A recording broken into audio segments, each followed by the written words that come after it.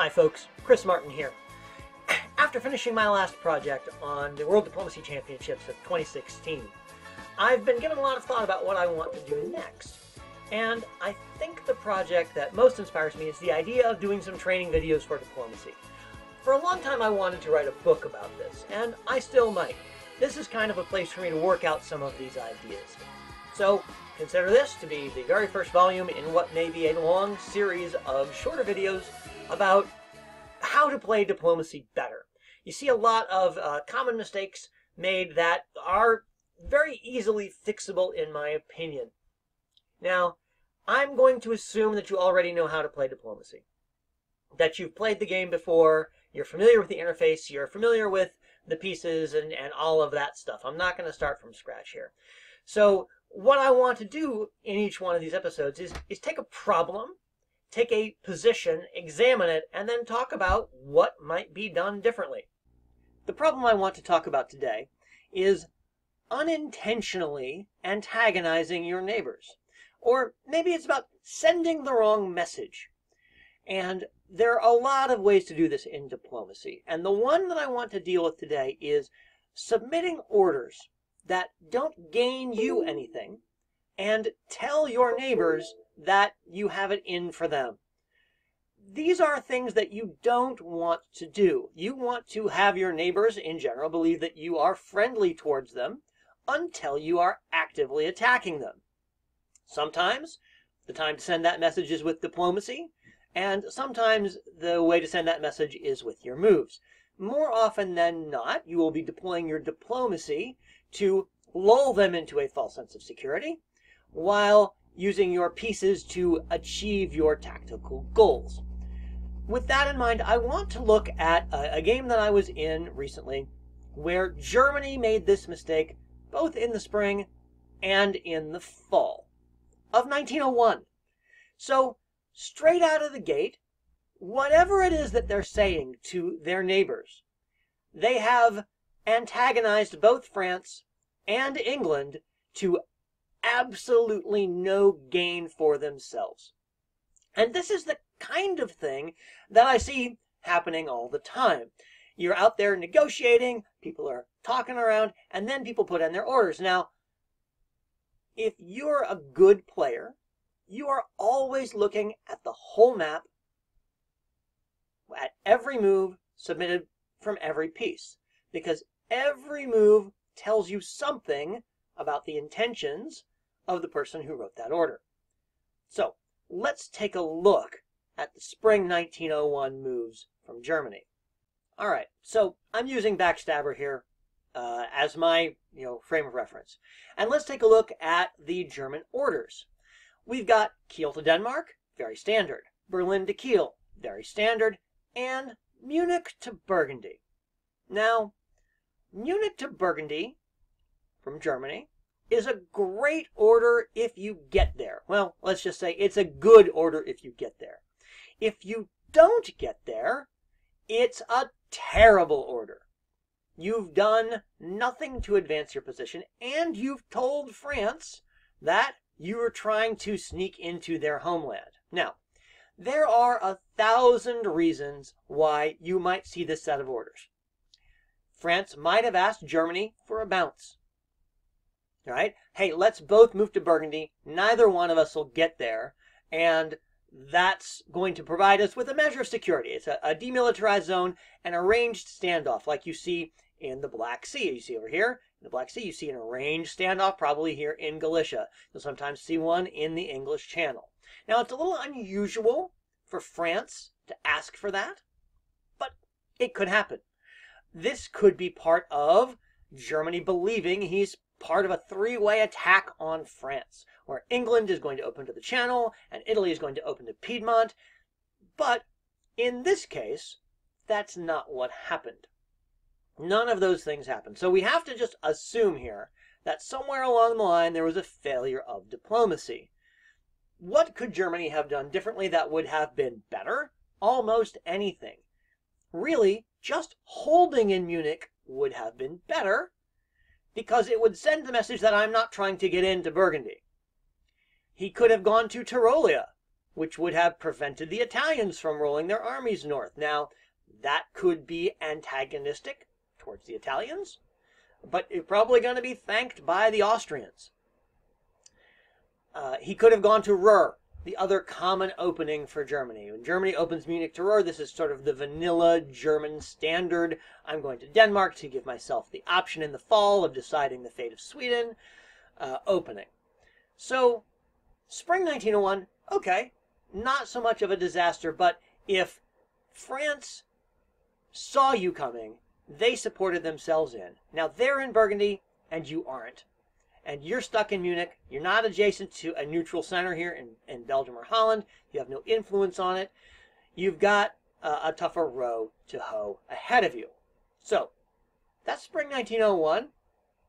I would argue a minor mistake. Not good, but not necessarily terrible. Let's take a look at fall of 1901.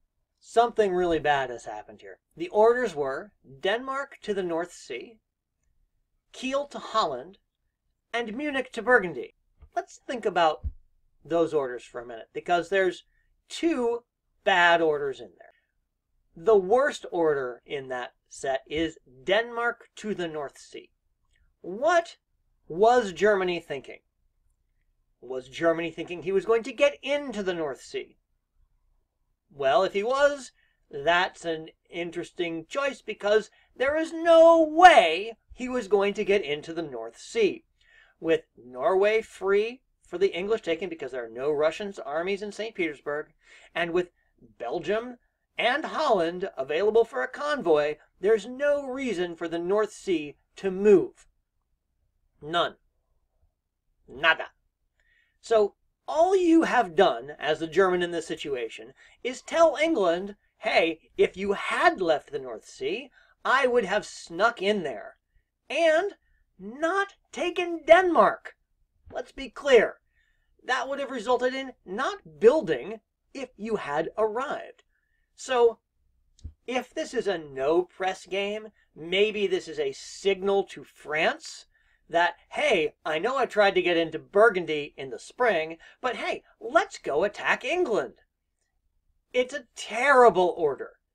It's just about the worst possible thing you could do here. Now, if you want Sweden to be Russian, great. Don't move to Sweden. I'm all about that. But there is no reason to let England know that you have any kind of hostile intent to them at this juncture. Kiel to Holland, don't have any objection to Kiel to Holland. That's a fine order. Munich to Burgundy. Okay, so there's, I guess, a non-zero chance that Burgundy was going to go to Belgium. Now, if Burgundy goes to Belgium and arrives, then you have successfully gotten into Burgundy as Germany. And what are you going to do from there? Presumably, you're going to take Belgium from him. That's the play there. That's what you're setting up. Now, in this case, what makes this a bad move is that it is coupled with the move on the North Sea. What Germany has said to both of his neighbors here is, given the opportunity, I'm going to attack you. And I'm going to attack you in a suboptimal way, in a way that is really not great for me, giving them all the incentive in the world to work together against you. Now, if you look at this French position, where you're going to end up with the fleet in the Mid-Atlantic Ocean almost certainly going to Portugal, and army in Marseille almost certainly going to Spain, you're going to have a France with two or three builds. And what you want France to do in that situation is to choose to work with you against England instead of working with England against you because this is a great situation for France to build Fleet Brest, try and get into the Channel, try to get back, you know, walk back to the Mid-Atlantic Ocean, and then have the entire backside of England available. Maybe build the third fleet if he ends up getting Belgium.